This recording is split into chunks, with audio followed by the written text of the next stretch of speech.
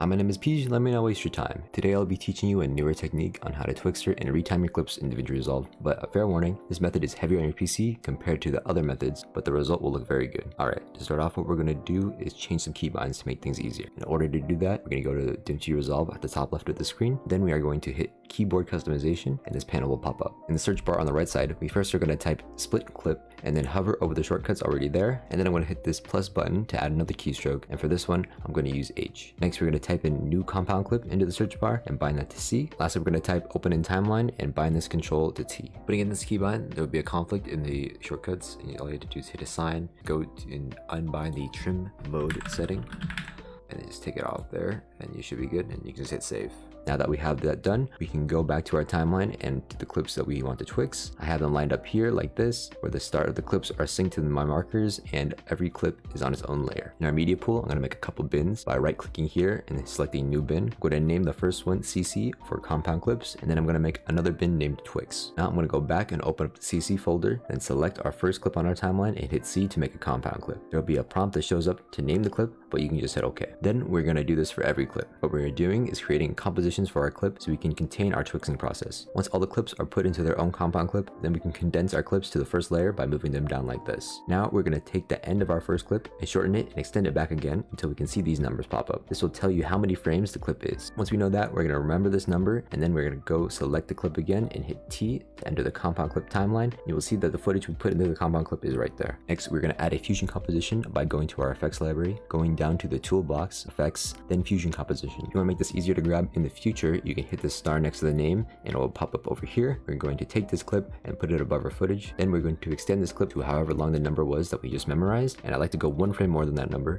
just because this will be where we retime our clip after we are done. So I'm just going to put it onto the first layer behind the footage there. Now I'm going to duplicate this footage that we have here by holding alt and dragging the clip upwards. Then on the track setting on the left side, we're going to disable the clip by hitting the film strip and lock the layer by hitting the lock. And now we can just work with the footage. In order for our Twix to look right, we need to cut out all the frames that are duplicated in our footage. In order to go frame by frame, we're going to use the arrow keys left and right. And since we binded our cut key to H, we can just hit the right arrow key and H to cut out every single frame individually. We're going to do this to the end of the clip. It should look something like this. Now we're going to go back to the beginning and delete every duplicate frame like this. I'm going to use the arrow keys to go frame by frame. If there's a clip that is duplicated, I can highlight the frame by holding control and then hitting the arrow key to select that frame. And then if I hit the delete key, you can delete that clip and it automatically gets rid of the space in between the two frames so we can just go to the next clip. Now just repeat this process until the end of the clip. What you want to focus on when looking at the frames is the movement driven by the focus of the clip. So every time Chica moves and not the background. Sometimes you can see a pattern between these frames so you don't have to look at every single clip. The gap could be every two frames or three frames. That does not need to be deleted, but I just keep my eye on the viewer to see if I make any mistake. Once that is done, you can play this back and make sure there is no duplicated frame and select all these frames. Make sure you have your Twix bin open, then compound clip these frames. Once we have that done, we can unlock our first layer and drag our fusion clip onto the top of our clips and then enter fusion. We first are going to open our media pool and grab our compound clip, just drag it into our composition and connect it to our media out. Then we're going to hit shift space, type in time stretcher and add that onto our node tree. If your playhead is not already at the beginning, you'll need to uncheck the source keyframe on your node here and then go to the beginning of the composition and keyframe or source time here so the value is at zero. And if we click the media in node, you can look at this number right here and it will tell you how long your clip is. So we're going to memorize that number, put our playhead at the end of the comp and make a keyframe on our source time on the time stretcher node with the value that we just saw in the media in. Then if we play back what we have, you can see that the clip moves out through the whole time that we set it for. And from here, what we're going to do is open our spline graph and retime how we want the clip to look like. I usually do an ease in spline like this for my retiming, but other people may like a curve like this. It all depends on what look you're trying to go for. Something like this for this clip look the best because I think there are more frames that look similar at the end of the clip, which will make the Twix look better. Sometimes if you don't like the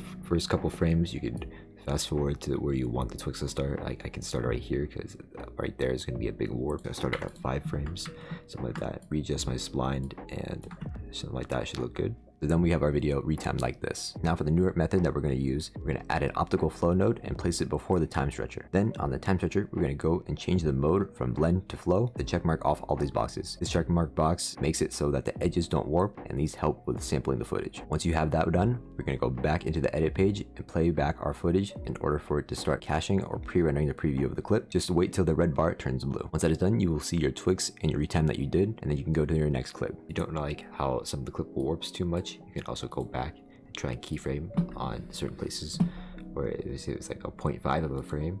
You don't really want to use that, like that one. We could keyframe it just to 11, just so it doesn't get that extra little warp. It's, it's okay, we can keep it just a 10 if we want. Like that. And let's do this to 8, so we just get no warp. So now it's just clean, clean, clean. Next clip I'm going to do is this one right here, because I have this scene being synced up to multiple beats on the music, and I have another trick that I want to show you. So I'm just going to go through this process again. We're to do this clip. Let's just bring it down. We got 17, we got 109, and it's at 202. 17, 109, 202. All right, we can go into here. Let me just mark it out even on this clip already. So just bring this up. Need 17 right there. 109 and then 202 like that. Now I can stop memorizing those numbers and just grab my fusion clip, drag it back on top here. That and then now I'm just gonna even just mark it mark it on the fusion clip because I can. And just bring this one more frame back. Bring this down here. We're gonna duplicate this footage. Turn this off. Bring it down. We don't even need to see all these frames like this. Let's cut up again. Open our Twix folder. There we go. I guess like for this scene, there's not a lot of movement in the scene, so we don't have to go through all that footage. We can just go to where we see it, the first movement that we want to Twix. So we go like right there. That we just delete all this first uh, movement. No movement. There you go. Like that. No movement, just talking. I'm not gonna Twix that. Let's do that. Let's do delete this again. Bring this here. Bring it down. That's where it stops. Do that. So we have this movement. That's we're gonna. It's the whole clip we're gonna Twix. Now we're just gonna cut all these frames again. A lot less to deal with than that whole long clip, right? All right. Got it cut out. We're gonna go through it. We just have this these clips. And you can see on one of the clips, like the mouth is pretty much okay. It's not moving that much, and so it'll, it'll Twix fine. But on one of these clips, he's actually blinking. So if we do that, it's gonna work really badly. So we actually do. I learned this from Keaton.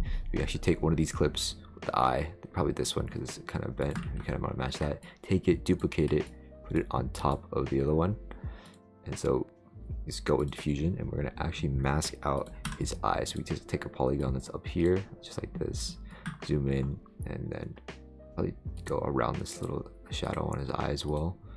Just go around the eye, mask it out. Something like this will be good. Put it on here. And I'll probably put a little bit of soft edge so it can blend a little bit better with the background. Nothing really obtruding it. I'll probably increase the border width just a tad.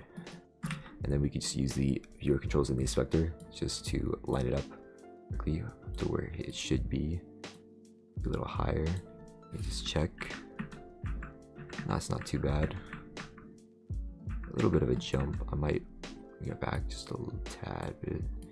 You all want to even angle it a little different. And that shouldn't Twix too badly. Alright, that should be good. And now we can just compound clip this in our Twix bin. Like this. Alright, let's unlock this layer. Let's get our clip that we have. And we're gonna stretch all these seven frames throughout this whole thing. So let's go into Fusion. Bring our clip in. I'm just gonna put our retime thing on. I have a macro that actually allows me to do it really fast. Just like that, and it puts it in the spline, and we get the seven frames that's here. Like that. But we also want to take into account for all these markers that we have in the clip. Let's just actually mark this out on the timeline now. We're gonna put these. We're gonna put keyframes here uh, under these markers. We can mark out the time, but we also don't want to. When we're messing with this, we don't want to interact with the markers on the spline graph. So we're gonna right click here and go to options, and then uh, the enable marker grab is checked on. We're gonna mark that off. I already have it off. Do that, and then we're just going to um, retime where we want his head to be during the certain times. So we want his head to be just at the start of the peak of looking up, which is around here. I think it's at four frames. We'll mark that out.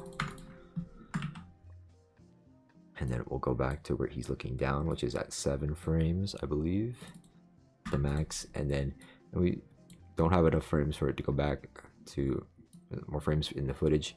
So we can just actually go back to a different number and then it will just go between it.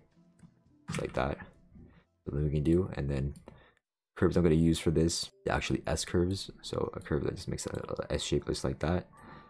And I'm just going to something like this, but we're also going to move these keyframes. So what we really want is the most vertical part of the graph to be under the marker because that's where the beat is synced. So we're just going to move it like that.